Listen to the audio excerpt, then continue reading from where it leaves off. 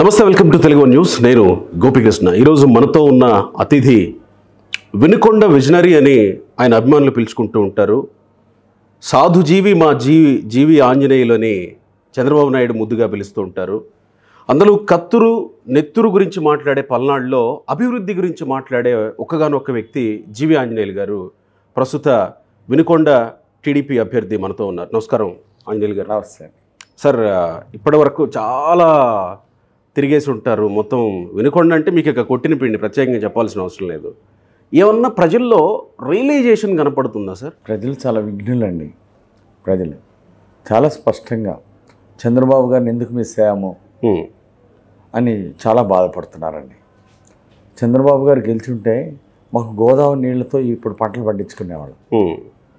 జగన్మోహన్ రెడ్డి గారు కూడా వచ్చి ఆయన పూర్తి చేస్తాడేమో అన్ని ప్రాజెక్టులు అని ప్రజలు ఒక్క అవకాశం ఒక్క అవకాశం అన్నీ నేను బాగా చేస్తా రాజధానిలో ఇల్లు కట్టుకున్నా రాజధాని కూడా బాగా చేస్తాను. ఇలాంటి అన్నీ కూడా ప్రజలు నమ్మారండి. హ్మ్.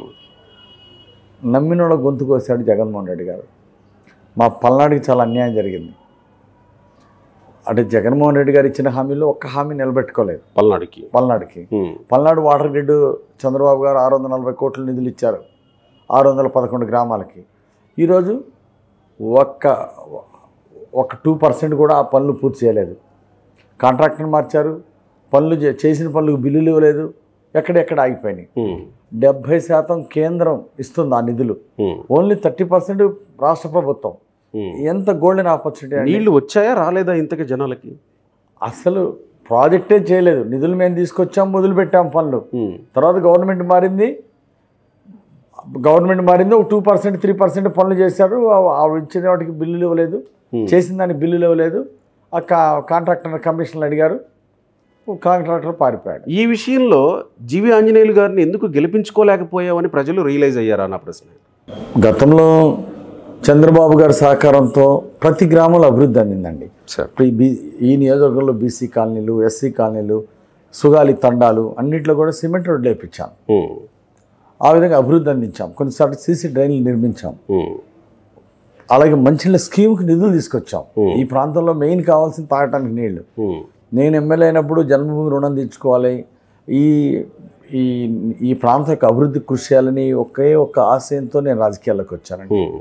ఆ రోజు పంతొమ్మిది వందల తొంభై ఎనిమిదిలో చంద్రబాబు గారు ముఖ్యమంత్రి ఉన్నప్పుడు యువ పారిశ్రామికవేత్తలు రాజకీయాల్లోకి రావాలి ప్రజలకు సేవ చేయాలి అంట మీరు డబ్బు సంపాదించుకోవడంతో పాటు మీ జన్మభూమి మీ ప్రాంతం.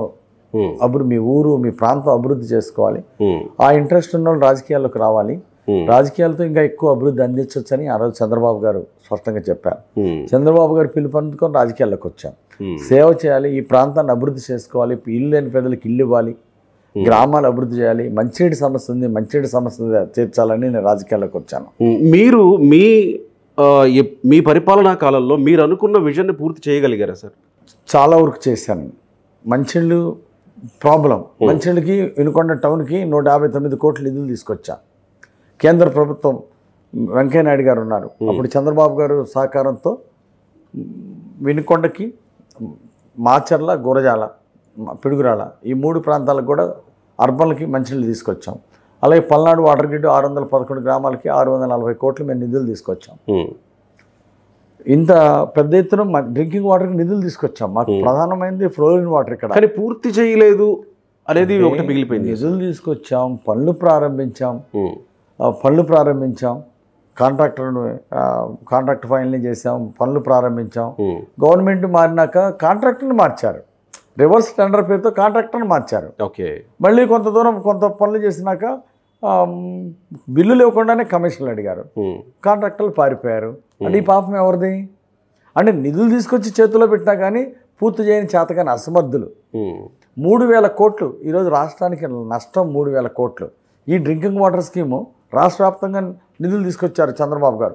ఆ రోజు కేంద్రంలో ఉన్నటువంటి వెంకయ్యనాయుడు గారితో సహకారంతో అర్బన్కి రూరల్కి రెండింటికి కూడా వాటర్ శాశ్వత మంచినీటి పథకం నిధులు తీసుకొచ్చారు. దురదృష్టం ఆ పథకాలు వీళ్ళు పూర్తి చేయకపోవటం. సెవెంటీ పర్సెంట్ నిధులు కేంద్రం ఇస్తుంటే థర్టీ పర్సెంట్ రాష్ట్ర ప్రభుత్వ నిధులతో ఇంత మంచి స్కీములు. ఎవరైనా బుద్ధున్న ముఖ్యమంత్రి ఎవరైనా వదిలేస్తారండి రాష్ట్రంలో ఒక్క ప్రాజెక్ట్ చేయలేదు జగన్మోహన్ రెడ్డి ఈ ముఖ్యమంత్రి ఒక్క ప్రాజెక్ట్ చేయలేదు. వినుకొండది కూడా అలాగే సంక్షేమ. పథకాలు ఇస్తున్నారంట కదా ఏదైనా ప్రాజెక్టుల గురించి అడిగితే సంక్షేమ పథకాల గురించి చెప్తున్నారు మినిమం అభివృద్ధి గురించే సంక్షేమ పథకాలు. చెప్తున్నారు ముందు తాగటానికి ఒక్క నీళ్ళు ఆరోగ్యానికి అవసరమైంది రోజు తాగే మంచినీళ్ళు. అది లేకుండా ఏంటి? వరికి సంక్షేమం పుడిసెల- మేమే తీసుకొచ్చామని చంద్రబాబు గారు ఇచ్చింది పంతొమ్మిది శాతం అండి. చంద్రబాబు గారు ఇచ్చింది పంతొమ్మిది శాతం అయితే జగన్మోహన్ రెడ్డి ఇచ్చింది పద్నాలుగు శాతమే. బడ్జెట్లో బడ్జెట్లో పంతొమ్మిది శాతం చంద్రబాబు గారు ఇచ్చారు. ఎక్కువ బడ్జెట్లో ఎక్కువ కేటాయించిన మహానుభావుడు చంద్రబాబు గారు. సంక్షేమం ఎక్కువ ఇచ్చింది ఆయనే. సంపద సృష్టించింది ఆయనే. ఆంధ్ర అసలు రాష్ట్ర విభజన తర్వాత అప్పుల్లో ఉన్న రాష్ట్రాన్ని రాష్ట్రాన్ని ఆయన సంపద సృష్టించి. ప్రగతి సాధించి. ఆ సంపదను మళ్ళీ పేద ప్రజలకు రెండు వందల పెన్షన్ రెండు వేలు చేసి సంక్షేమం పేద ప్రజలకు అందించిన మహానుభావుడు చంద్రబాబు గారు. ఒక్క ప్రాజెక్ట్ కూడా రాష్ట్రంలో చేపట్టలేదని అంటున్నారు. వరికి పుడిసెల మేమే తీసుకొచ్చాము అనుమతులు కూడా మేమే తీసుకొచ్చామని చెప్పుకుంటున్నారు కదా సార్ ఇప్పుడు. వరికపొడిసెలకి అసలు నిధులు ఇచ్చింది చంద్రబాబు గారు. మూడు వందల నలభై నాలుగు కోట్లు నిధులు ఇచ్చారు చంద్రబాబు గారు. నిధులు ఇచ్చినా ఈ ప్రభుత్వం పూర్తి చేయటం చేతకాలేదు. ఆ రోజు ఈ చంద్రబాబు గారు నిధులు ఇచ్చారు ఈ ప్రభుత్వం వచ్చినాక బడ్జెట్లో ఒక రూపాయి నిధులు ఇవ్వాల అనుమతులు మాత్రం తీసుకొచ్చామని చెప్పు. అనుమతులు తీసుకొచ్చింది. ఆ ఎంపీ శ్రీకృష్ణదేవరాయలు ఢిల్లీ చుట్టూ తిరిగి అనుమతులు తీసుకొచ్చారు. ఇది వైసీపీ క్లెయిమ్ చేసుకుంటుంది పార్టీ నుంచి. ఇదంతా ఇదంతా అన్యాయం కదా. ఇది కేంద్ర ప్రభుత్వం నుండి అనుమతులు తీసుకొచ్చింది తిరిగింది కష్టపడ్డది శ్రీకృష్ణదేవరాయలు. ఇక్కడ ఎంపీ కాబట్టి ఆయన బాధ్యత ఆయన చేశాడు. అయితే తీసుకో దానికి పద్నాలుగు కోట్లు కట్టమని ఈ ఫారెస్ట్ డిపార్ట్మెంట్కి పద్నాలుగు కోట్ల కట్టమని వచ్చింది. రాష్ట్ర ప్రభుత్వం. అది కట్టి ఎన్విరాన్మెంట్ క్లియరెన్స్ తీసుకోవాలి రాష్ట్ర ప్రభుత్వం. పద్నాలుగు వందల కోట్ల ప్రాజెక్టు పద్నాలుగు కోట్లు అదనంగా దీనికి పర్మిషన్ల కోసం ఫారెస్ట్కి డబ్బులు కట్టాలా? ఫారెస్ట్ డిపార్ట్మెంట్కి. ఆ పద్నాలుగు రూపాయలు కూడా ఇవ్వలేదండి. ఎంత దారుణం. ముఖ్యమంత్రి జగన్మోహన్ రెడ్డి గారు స్కీమ్ ప్రారంభించి శంకుస్థాపన చేసి కనీసం అనుమతులు కట్టాల్సిన పద్నాలుగు కోట్లు కట్టలేదు. పద్నాలుగు వందల కోట్ల నిధుల్లో కనీసం ఒక వంద కోట్లు కూడా విడుదల చేయలేదు. మీరు గెలిస్తే ప్రాధాన్యాంశంలో వరికి పుడిసెల ప్రాజెక్ట్ ఉంటుందా? ఖచ్చితంగా అండి.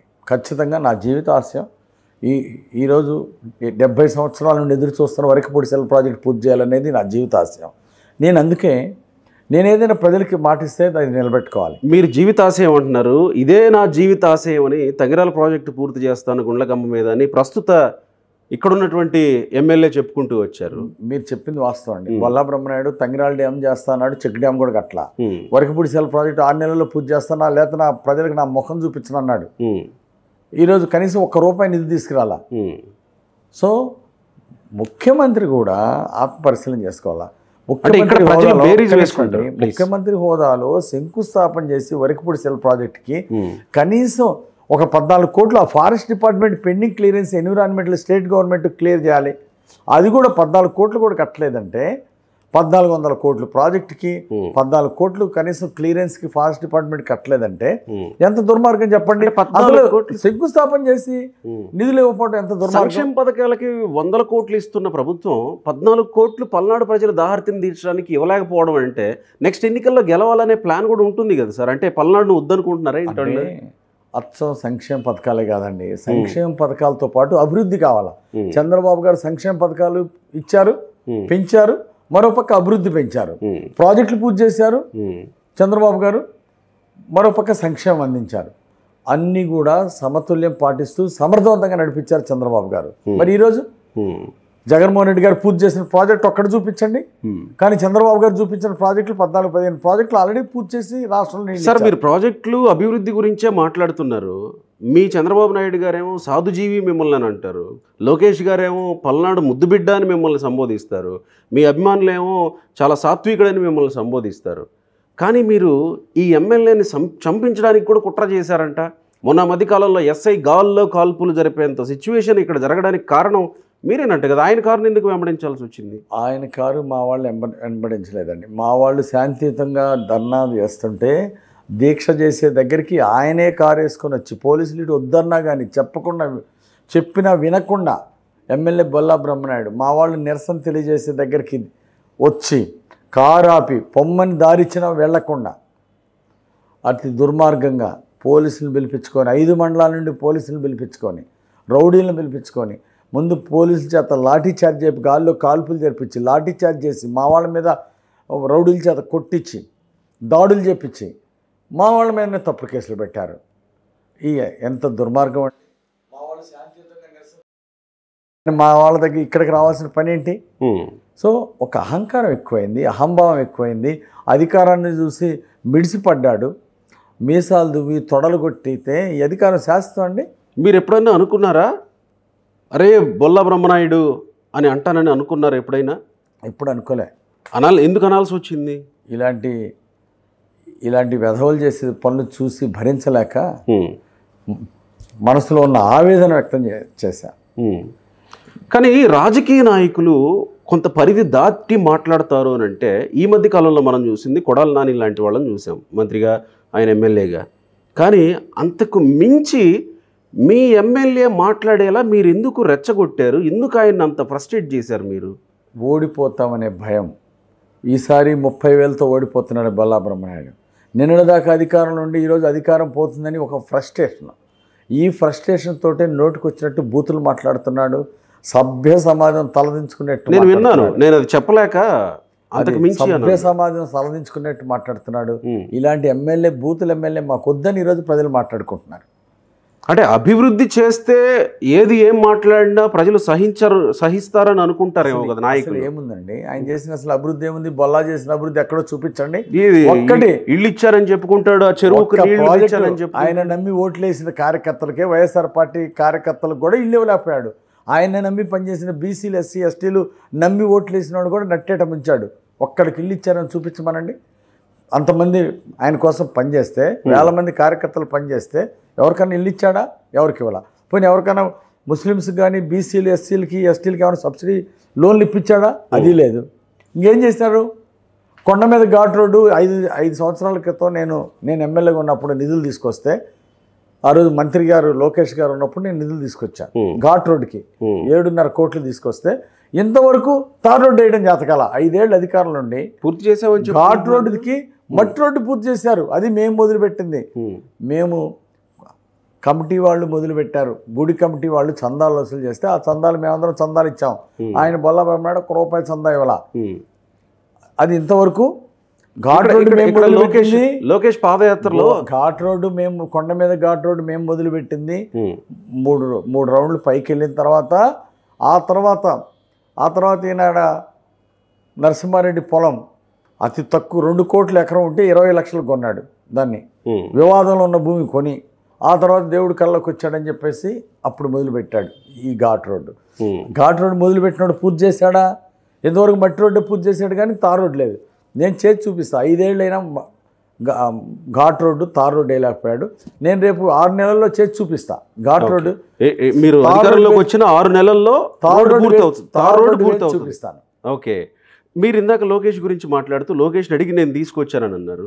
లోకేష్ తన కార్యాలయంలో నుంచి బయటకు వచ్చేటప్పుడు ఆ గేట్ దగ్గర నిలబడి ఆయన టాయిలెట్కి పోయే టైంలో కూడా మీరు ఆయన్ని వేధించి తీసుకొచ్చారంట. నిజమేనా? లేకపోతే మీ గురించి చెప్పాలి కాబట్టి ఏమైనా చెప్పారా? నేను వెళ్ళినప్పుడల్లా లోకేష్ గారి దగ్గరికి వెళ్ళినప్పుడు చంద్రబాబు గారి దగ్గరికి వెళ్ళినప్పుడు నేను మొత్తం ఎస్టిమేషన్లు మొత్తం మాకు వినుకొండ ప్రాంతానికి కావాల్సినటువంటి రిక్వైర్మెంట్స్ ఫైల్స్ ప్రాజెక్ట్స్ అన్నీ కూడా తీసుకుని వాళ్ళ దగ్గరికి వెళ్ళేవాడిని.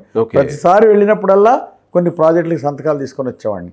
ఒకసారి ఎస్సీ ఎస్టీ సప్లాన్లో నిధులు కావాలని ఎన్ఆర్జిఎస్ ఆయన పంచాయతీరాజ్ శాఖ మంత్రిగా ఉన్నారు కాబట్టి వారి సహకారంతో లోకేష్ గారి సహకారంతో మా ప్రతి ఎస్సీ కాలనీలో ప్రతి ఎస్టీ సుగాలి తండాల్లో బీసీ కాలనీ మీద సిమెంట్ రోడ్లు వేయగలిగాం. ఓకే. లోకేష్ గారి సహకారం.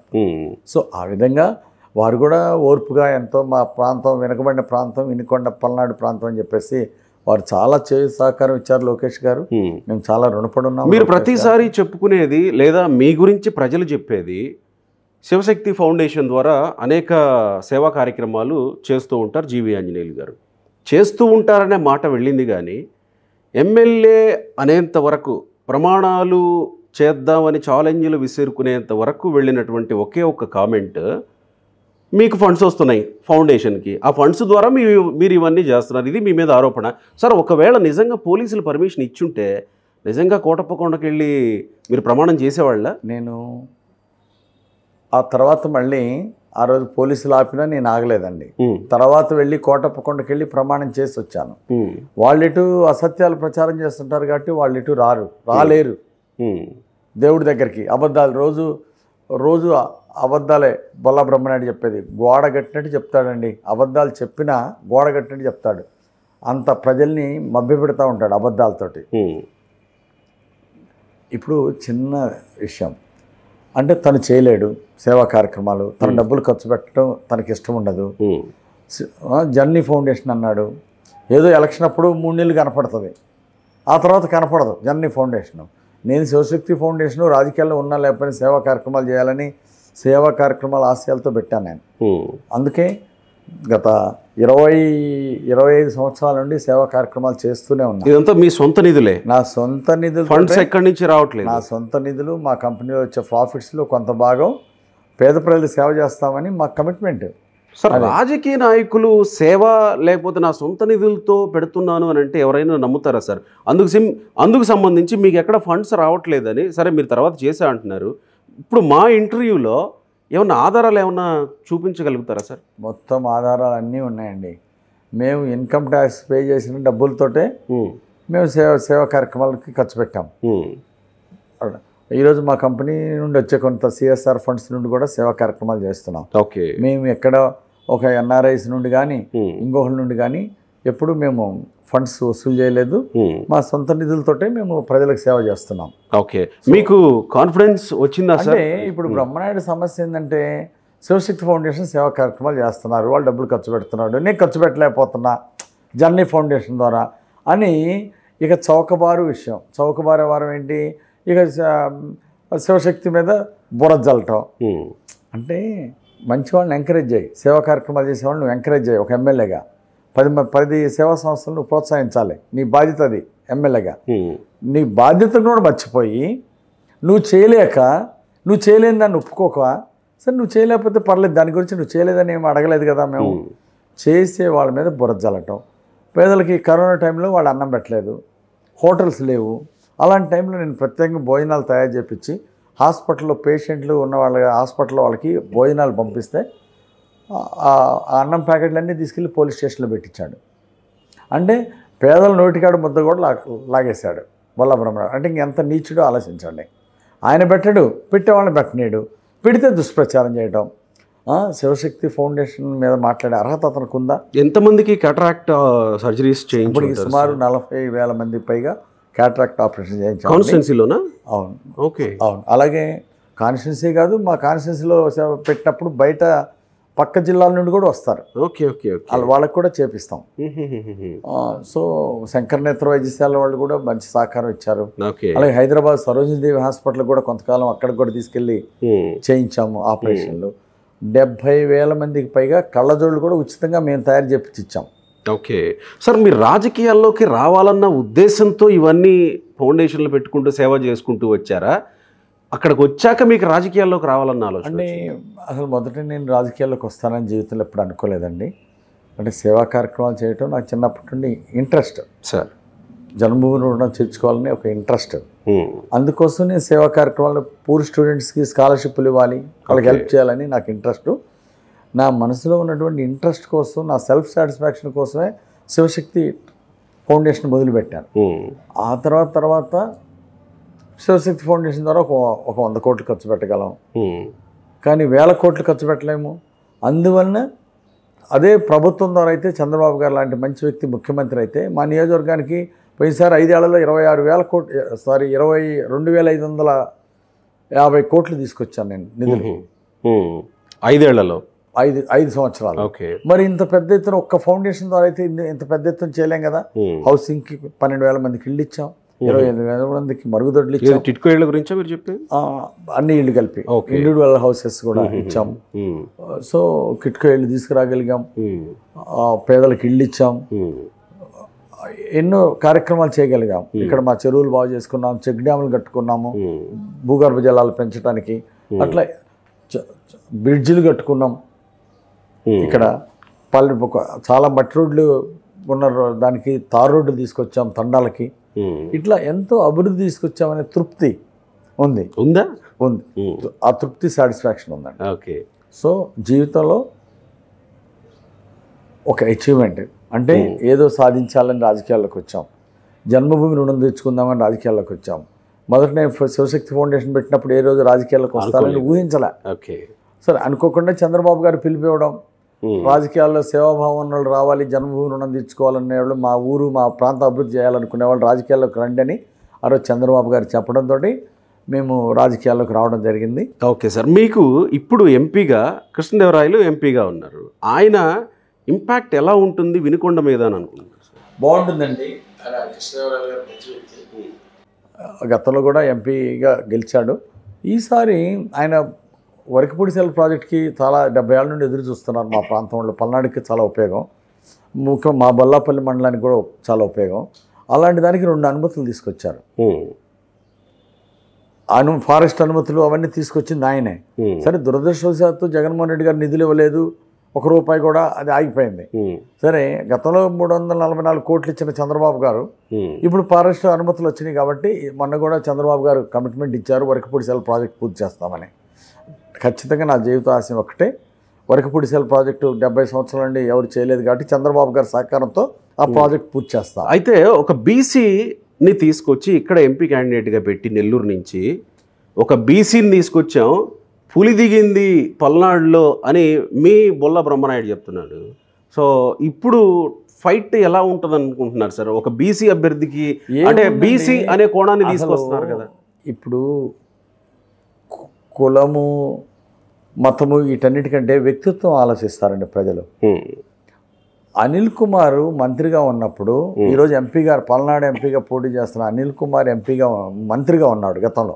గతంలో మంత్రిగా ఉన్నప్పుడు గోదావరి పెన్నా నదుల అనుసంధానానికి మాకు రూపాయి నిధులు ఇవ్వలేదు. ఆయన మంత్రిగా ఉంది ఆయన శాఖే కదా. ముఖ్యమంత్రి గారు చెప్పి నిధులు ఇవ్వచ్చు కదా. సో మా పల్నాడుకి ఏం జిల్లాకి ఏం చేశాడు? వచ్చిన వచ్చిన ప్రాజెక్ట్కి నిధులు కంటిన్యూ చేయకుండా ఆపేశారు. అలాగే ఏ, వరకపూడిసెల ప్రాజెక్టు ఆయన మంత్రిగా ఉన్నాడు. నీటి నీటిపారుదల శాఖ మంత్రిగా ఉన్నాడు కరెక్ట్ ఆయన చేతిలో పనేగా ఆ శాఖ సంబంధించినటువంటి ఆయన. మరి మా వరకపూడిసెల ప్రాజెక్టుకి నిధులు ఎందుకు ఇవ్వలేదు. మా పల్నాడు జిల్లా మీద ప్రేమ ఉంటే. మరి ఆ ప్రాజెక్ట్ పూర్తి చేయాలి కదా ఎందుకు చేయలేదు. ఈరోజు పల్నాడు జిల్లాకి వచ్చిన ప్రాజెక్టులకి నిధులు ఇవ్వకుండా ఆపేసినటువంటి వీళ్ళకి అసలు ఓటు అడిగే హక్కు ఉందండి. ఇక్కడ పోటీ చేసే హక్కు ఉందా? ఈ ప్రజలను ఓటు అడిగే హక్కు ఉందా? ఉమ్. కృష్ణదేవరాయలు గారు పర్మిషన్ తీసుకొచ్చారు. రేపు చంద్రబాబు గారి దగ్గర నుండి నిధులు మేము తీసుకొచ్చి పూర్తి చేస్తాం. ఉమ్. అలాగే పల్నాడు వాటర్ గ్రిడ్ వచ్చిందండి. వీళ్ళు పూర్తి చేయలేకపోయారు. ఖచ్చితంగా రేపు మళ్ళీ పల్నాడు వాటర్ గ్రిడ్ పూర్తి చేసి ఇంటింటికి మంచిళ్ళు ఇస్తామండి. మెయిన్గా ఇక్కడ ఫ్లోరిన్ వాటరు తాగితే మోకాళ్ళ నొప్పులు వస్తాయి నడుముల నొప్పులు వస్తాయి ఇబ్బంది పడుతున్నారు ప్రజలు. ఖచ్చితంగా ప్రజలు రుణం తీర్చుకుంటా. ఎగ్జాక్ట్లీ నా ప్రశ్న కూడా అదే. ఇక్కడ చివరిగా మనం ఇంటర్వ్యూ ముగించబోయే ముందు మీ ప్రాధాన్యతలు ఏంటి? ఇక్కడున్న సమస్యలు మీకు అణువణువు తెలుసు. నెక్స్ట్ మీరు గెలిస్తే ప్రాధాన్యతలు ఏంటి? ఏది ప్రాధాన్యాంశంగా తీసుకొని పూర్తి చేస్తారు? ప్రధానంగా మంచినీటి సమస్య. గతంలో దేనికైతే నిధులు తీసుకొచ్చాము పల్నాడు వాటర్ గ్రిడ్ దాన్ని పూర్తి చేసి ఇంటింటికి ఇంటింటికి ట్యాప్ బిగించి ఓకే. ప్రతి ఇంటికి ఒక కుళాయి బిగించి ఈ నాగార్జున సాగర్ కుడికాల నుండి ఇచ్చేటువంటి నీళ్ళని ప్రతి ఇంటికి ఇచ్చి ప్రజల రుణం తీర్చుకుంటా. వినుకొండ టౌన్కి టౌన్ వాటర్ స్కీమ్ పూర్తి చేస్తా. వినుకొండ టౌన్ ప్రజల రుణం తీర్చుకుంటా. రూరల్ వాటర్ గ్రిడ్ పూర్తి చేస్తా. ప్రతి ఇంటికి మంచినీళ్ళు ఇస్తే నాకు చాలా సాటిస్ఫాక్షను. అట్లా గోదావరి నది నీళ్ళు.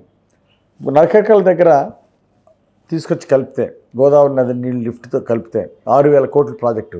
మా నాయకుడు చంద్రబాబు నాయుడు గారిని రిక్వెస్ట్ చేశాం ఈ ప్రాజెక్ట్ పూర్తి చేయాలని.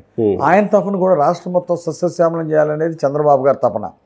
రాయ ఇక్కడ నుండి రాయలసీమకు కూడా ఆ గోదావరి నీళ్ళు తీసుకెళ్ళొచ్చు సముద్రంలో ప్రతి సంవత్సరం జూన్లో సముద్రంలో కలిసిపోతున్నటువంటి నీళ్ళు వరదలకి సముద్రంలో కలిసిపోయే నీళ్ళని దాన్ని సాగర్ కుడికాల ద్వారా గోదావరి నీళ్ళు లిఫ్ట్లో తీసుకొచ్చి నకరికల దగ్గర కలిపితే అవి మా మా పొలాల్లోకి వస్తాయి. అలాగే రాయలసీమకు కూడా ఎక్స్ట్రా ఉన్న నీళ్ళని రాయలసీమకు కూడా తీసుకెళ్ళి అక్కడ కూడా పెన్నా నదికి కలిపి సస్యశ్యామలం చేయొచ్చు. ఓకే. ఈ బృహత్తరమైనటువంటి పథకం మీకు ప్రాధాన్యాంశాలు ఇది మాకు. ఇవన్నీ మా పొలాలకి టౌన్లో పార్కుల డెవలప్మెంట్ వీటికి. సంబంధించి. ఇది గోదావరి పెన్నా నది నీళ్ళు. చంద్రబాబు గారి సహకారంతో అది పూర్తి చేస్తాము. దానివల్ల మా పొలాల్లో గోదావరి నీళ్ళు వస్తాయి. రెండు పంటలు పండించుకుంటారు రెండోది వరకపూడిసెల ప్రాజెక్ట్ పూర్తి చేయడం. మా బొల్లాపల్లి మండలంకి ప్రధానంగా చాలా ఉపయోగపడుతుంది. మూడోది ఇక్కడ టౌన్లో చంద్రబాబు గారితో చెప్పి ఇరవై రెండు ఎకరాలు స్థలం మున్సిపాలిటీ తీసుకొచ్చా. ఎన్ఎస్పి కింద నాగార్జున సాగర్ ప్రాజెక్ట్ కింద ఉన్న స్థలాలు ఎన్ఎస్పి ల్యాండ్. ఓకే. అది ఇరవై రెండు ఎకరాలు నేను తీసుకొచ్చా. చంద్రబాబు గారి ద్వారా. మా అది హార్ట్ ఆఫ్ ది టౌన్ ఈరోజు.